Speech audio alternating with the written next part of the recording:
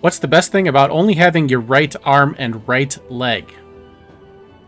You've got nothing left to lose. Mike with Iceberg Gaming here, and today's World of Warcraft Gold Farming Guide video is going to be a jewel crafting enchant. So, jewel crafters, you're in luck. Today we're looking at crafting the Panther mounts. There's uh, there's five of these. We've got the Sunstone, the uh, the Jade, the Sapphire, the Ruby, and then the Jeweled. Now, I personally only sell around four or five of these a week because the, it is a high cost to craft. It has a high crafting cost, and with the Noob Gold Challenge, I am reluctant to spend my gold. So if I would spend more gold and buy the materials and craft more of them, I'm sure I would sell more of them. But I generally sell around four or five of them. They cost about 20,000 gold to craft, and I generally sell them between 25 and 30,000 gold each.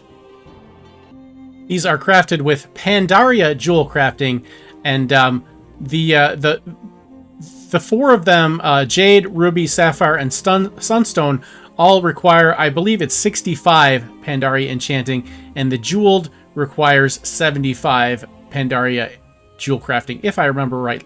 And the Jeweled is basically combining Voltron of Jade Panthers into an Uber Jade Panther. And to be able to purchase these items, you need to be exalted with Order of the Cloud Serpent in Mists of Pandaria for all of them. Some of them require Honored, some of them require Revered, to get, but to get all five patterns, you have to hit Exalted with the Order of the Cloud Serpent. Now to buy this pattern, you are going to see San Redscale, the Serpent Keeper, and he's got the designs here for you. And he is located at the same spot that you grind the rep. We are on the continent of Pandaria in the Jade Forest, forest at the Arboretum. And then once you've got your patterns, the reason why these cost so much to craft is the Orb of Mystery here.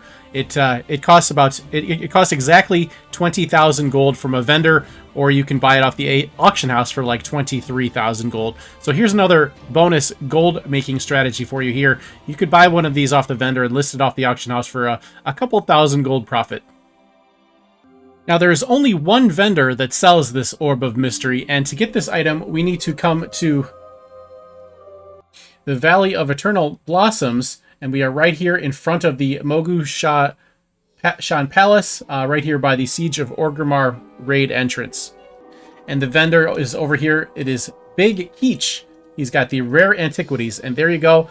There is our Orb of, Orb of Mysteries for 20,000 gold.